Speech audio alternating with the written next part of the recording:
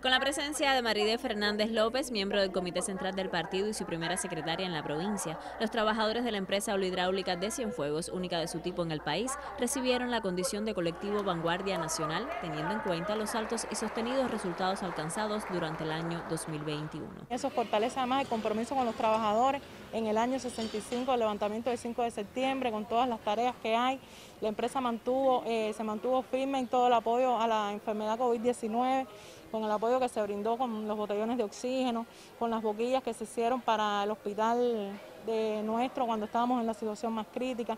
O sea, estamos encaminados en todos eh, los proyectos que permitan eh, hacer que la empresa siga teniendo resultados favorables y con el compromiso de los trabajadores, ahora en la jornada del primero de mayo, que mejor momento para poder eh, desarrollar esta, esta condición y mantener así los resultados que hemos alcanzado hasta el momento. A pesar de la compleja situación económica que enfrenta nuestro país, los trabajadores de este sindicato mantienen el compromiso de continuar cumpliendo con los planes previstos para cada etapa con mayor eficiencia y calidad. Estamos incluidos además en el comercio electrónico,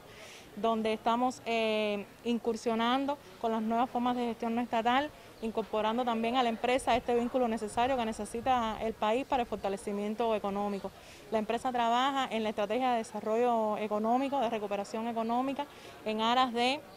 crear nuevos proyectos con nuevos productos, el encadenamiento con la zona de desarrollo Mariel, que es vital hoy para, para lograr eh, hacer un, proyecto de algún producto que podamos exportar y ampliarnos en esa, en esa cadena. Por más de cinco ocasiones, esta importante empresa Cienfueguera ha sido galardonada con esta condición de colectivo Vanguardia Nacional.